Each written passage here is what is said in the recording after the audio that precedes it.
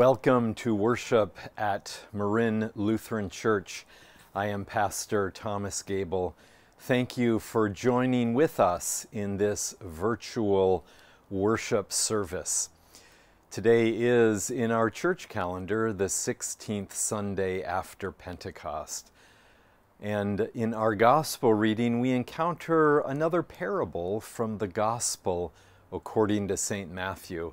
This parable is only found in this gospel, and it is usually titled The Laborers in the Vineyard.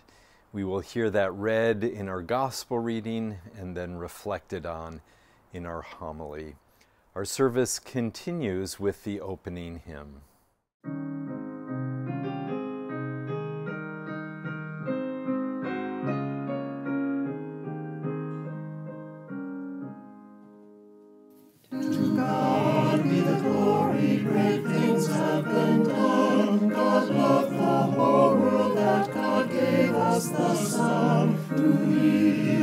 Life an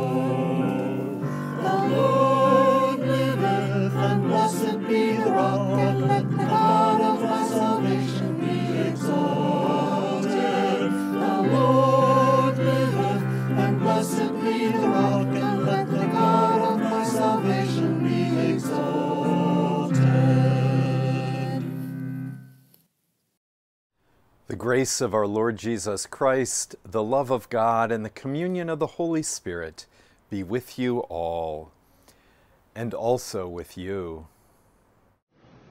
Almighty and eternal God, you show perpetual loving kindness to us, your servants. Because we cannot rely on our own abilities, grant us your merciful judgment and train us to embody the generosity of your Son, Jesus Christ, our Savior and Lord. Amen. A reading from the book of Jonah. When God saw what the people of Nineveh did, how they turned from their evil ways, God changed his mind about the calamity that he had said he would bring upon them, and he did not do it. But this was very displeasing to Jonah, and he became angry. He prayed to the Lord and said, O Lord, is not this what I said while I was still in my own country? That is why I fled to Tarshish at the beginning. For I knew that you are a gracious God and merciful, slow to anger, and abounding in steadfast love, and ready to relent from punishing. And now, O Lord, please take my life from me, for it is better for me to die than to live. And the Lord said, Is it right for you to be angry? Then Jonah went out of the city and sat down east of the city and made a booth for himself there. He sat under it in the shade, waiting to see what would become of the city. The Lord God appointed a bush and made it come up over Jonah to give shade over his head, to save him from his discomfort. So Jonah was very happy about the bush. But when dawn came up the next day, God appointed a worm that attacked the bush so that it withered. When the sun rose, God prepared a sultry east wind, and the sun beat down on the head of, the, of Jonah so that he was faint and asked that he might die. He said, It is better for me to die than to live. But God said to Jonah, Is it right for you to be angry about the bush? And he said, Yes, angry enough to die. Then the Lord said, You are concerned about the bush, for which you did not labor and which you did not grow. It came into being in a night and perished in a night. And should I not be concerned about Nineveh, that great city in which there are more than a 120,000 persons who do not know their right hand from their left, and also many animals? Here ends the reading.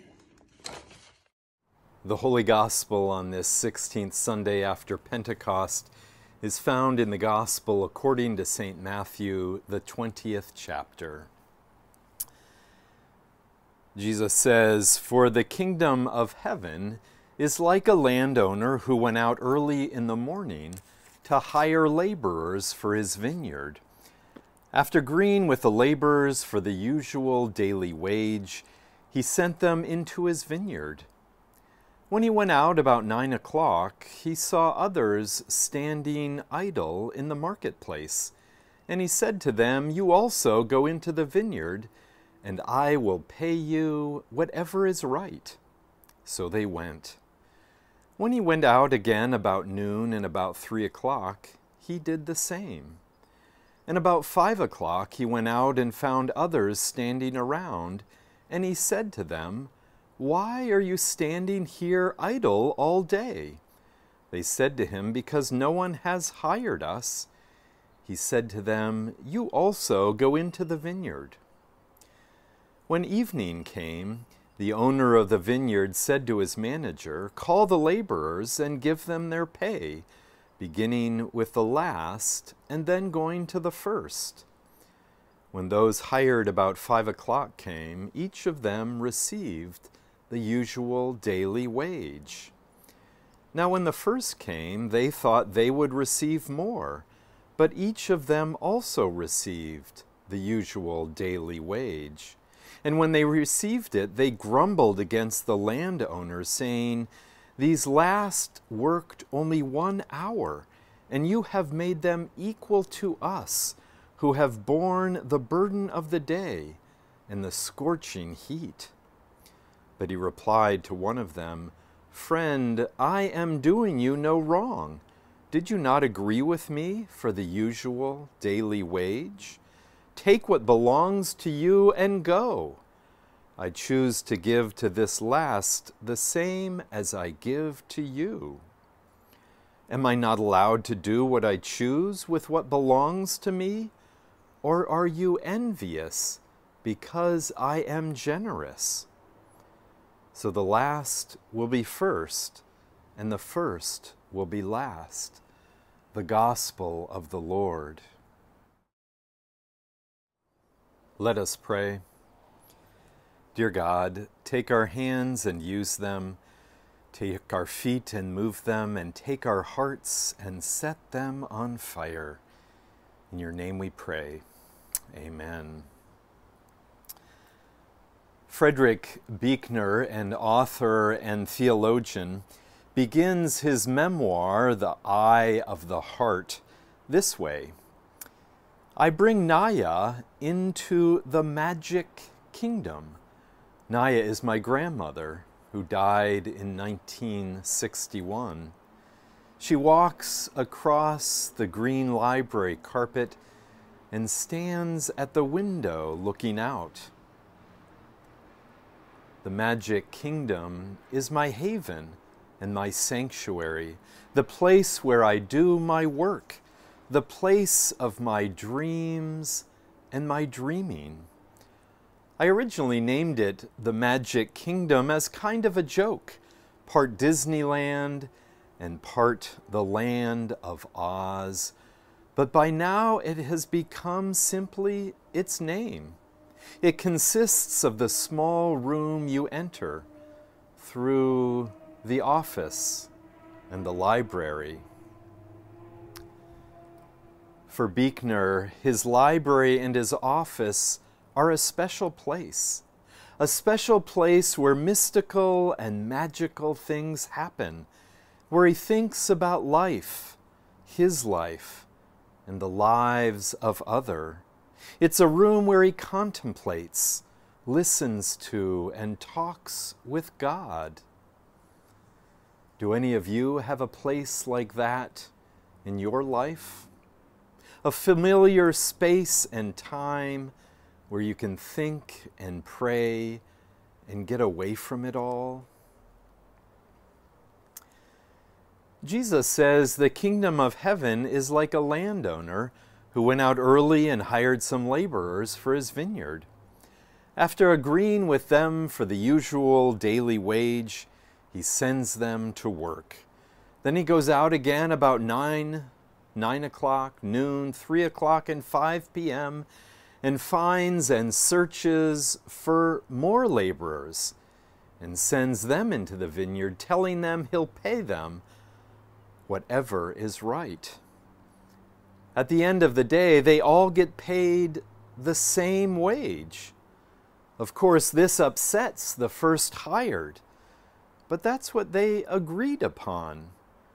The parable concludes with the manager throwing out those who grumbled first, the first hired, saying, Take what belongs to you and go.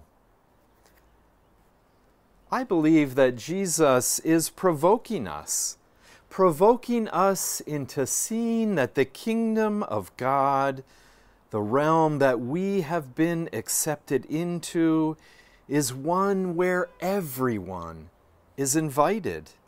In Jesus' magical kingdom, God is continually going out and inviting more and more people into this realm. God is always in our neighborhoods, at the grocery store, at the town center, at the doctor's office, in the canal, and in the open spaces, always calling and cajoling all people into a realm where all are equal. In fact, the reason for our very place in the kingdom is not some notion of justice or our own good works or our wonderful personalities, but simply the invitation from God. God is in the invitation business, constantly inviting you and me into a magical and mystical kingdom where we're about the work of love in all its facets and phases. Years ago, I received an invitation to a progressive dinner. You know, a meal where each course takes place in a different location. On the invitation, we were encouraged to come to a movable feast. A movable feast. The kingdom of God that magical kingdom that God has invited us into is a movable feast. For the kingdom of God is not a library or some other kind of room. It's not in a specific geographical location, but it's all around us and everywhere. Anywhere there is love and acceptance and mercy and peace there is the magical kingdom of God. Years ago, I received a card from a friend and a member of the congregation that I served in Jersey City, New Jersey. On the cover of the card was a striking photograph he took of the tops of the burning and smoke covered World Trade Center. On the inside, it had this verse from 1 Corinthians Love knows no limit to its endurance, no fading of its hope. It can outlast anything. It is, in fact, the one thing that will stand when all else has fallen. God has invited you and I and everyone to an ongoing, movable feast. God has invited us into the story of God's people that began millennia ago, a drama that has endured the rise and fall of human empires and nations and leaders. God has invited us into the wonderful and magical kingdom of love because God delights in our being and in our being together. And be assured that the kingdom of heaven will continue to grow in this world, disseminating mercy and justice and love. For love knows no limits to its endurance, no fading of its hope. It can outlast anything. It is, in, in fact, the one thing that will stand when all else has fallen. Amen. May the peace of God, which passes all human understanding, keep your hearts and minds in Christ Jesus. Oh, Amen.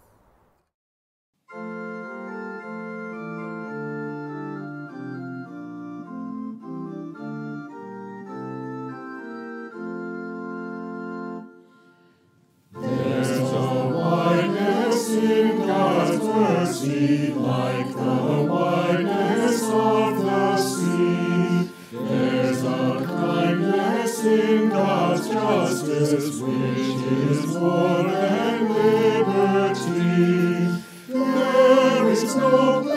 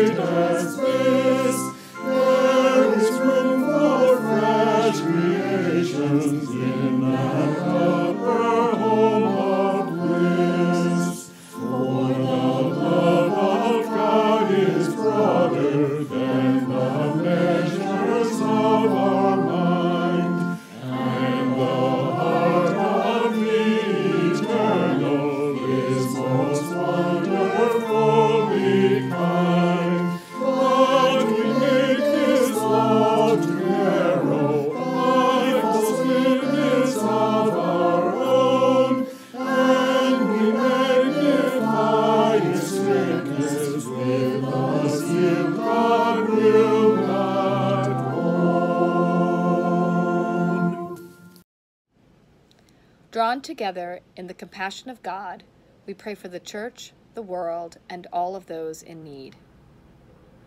Generous God, you make the last first and the first last. Where this gospel challenges the church, equip it for our works of service. Strengthen those who suffer for Christ. Lord, in your mercy, hear our prayer. Where we find envy and create enemies, you provide enough for all. Bring peace to places of conflict and violence. Accompany people of faith as they nurture relationships in new ways. Where the sin of racism fractures our relationships, bring repentance and reconciliation. Inspire leaders with creativity and wisdom. Bless the work of negotiators, peacemakers, and development workers.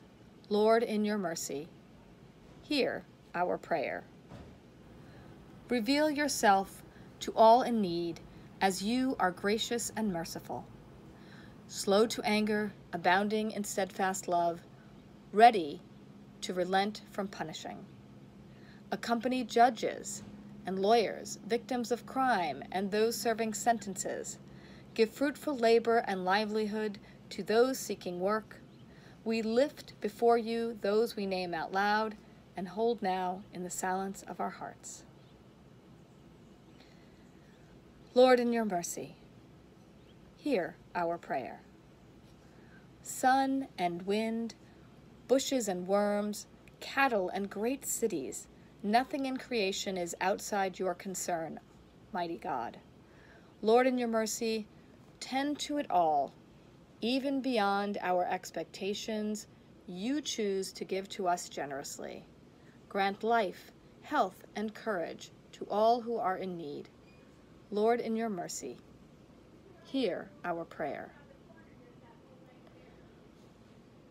All these things and whatever else you see that we need, we entrust to your mercy. Through Christ our Lord. Amen.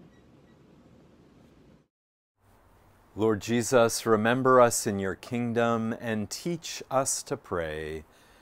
Our Father in heaven, hallowed be your name.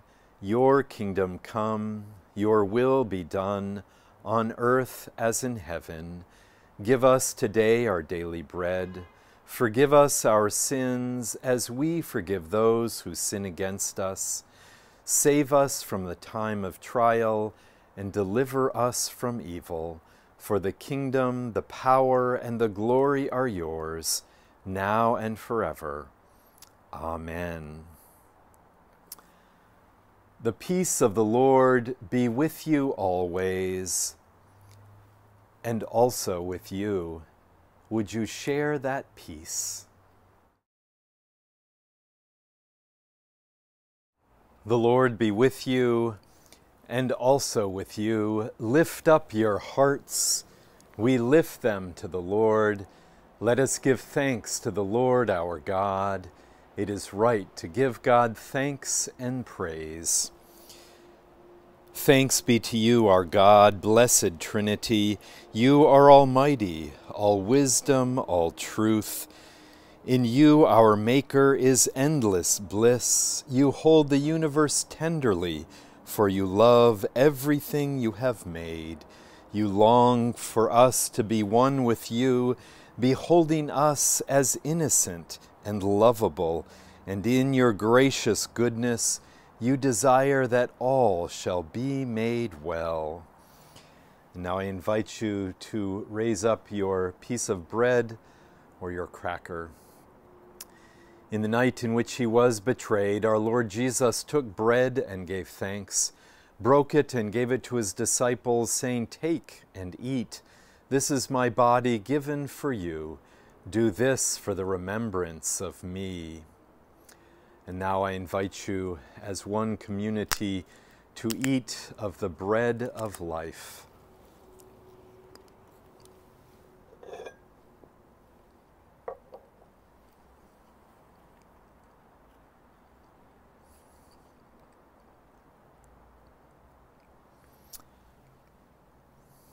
Now I invite you to raise up your cup of wine or grape juice.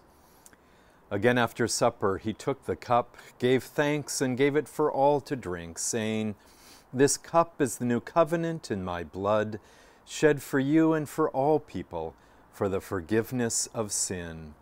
Do this for the remembrance of me. As one community, let us drink of the cup of salvation.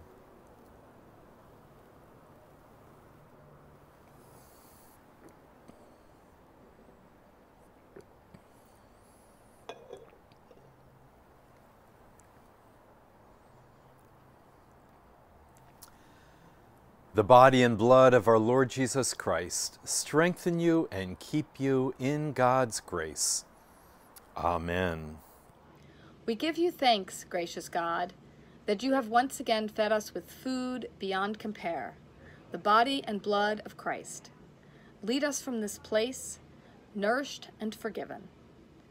Into your beloved vineyard, wipe away the tears of all who hunger and thirst guided by the example of the same Jesus Christ and led by the Holy Spirit, now and forever.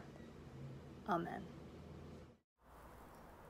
Mothering God, Father, Son, and Holy Spirit, bless you and lead you in the way of truth and life. Amen.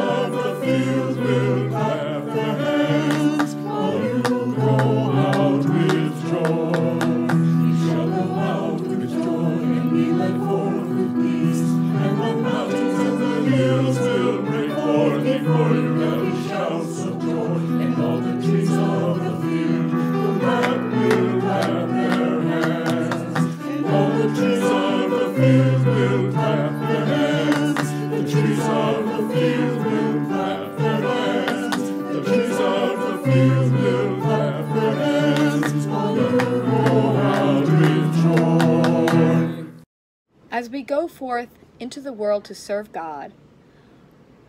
May God's word be in our hearts and on our lips. May God's words be in our touch and direct our feet. Today and every day, may God's word be the life we live. Thanks be to God.